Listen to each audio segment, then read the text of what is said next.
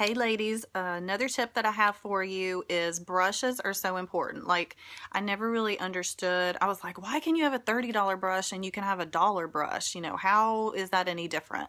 But I am telling you, these brushes are absolutely fabulous. Like this brush, this is our powder puff brush and I recommend this um, especially with our touch foundation the one that goes from liquid to dries matte finish because you can literally put five drops on this brush, the specific brush, and it will not soak into the brush, okay? It'll stay right on top so that you can just put your makeup. And so think about it. If you have a good brush that's gonna last, because these will last your whole lifetime, then, and it's not gonna soak into it like a sponge, makeup if it soaks into a sponge, it's not going to last as long.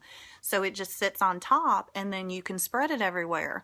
So your money for your liquid foundation, and you can imagine if you're using five drops of this, how long this is going to last you, right?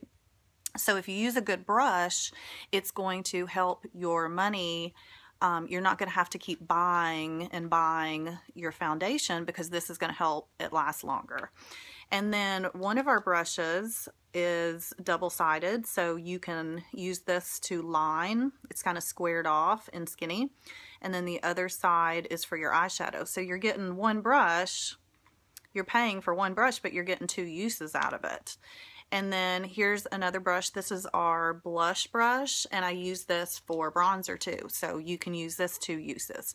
But a tip, to help them last really long, wash them in soap and water. Just a little tiny bit of soap and water. And you want to wash them before you use them the first time too.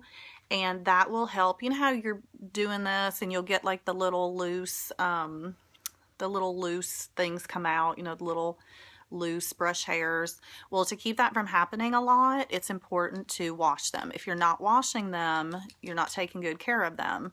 So once a week, try to remember to wash with a little soap and water and then let them air dry.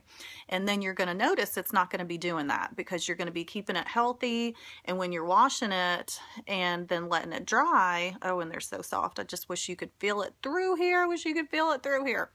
But anyway, that's my tip for you for the day. So have a fabulous day.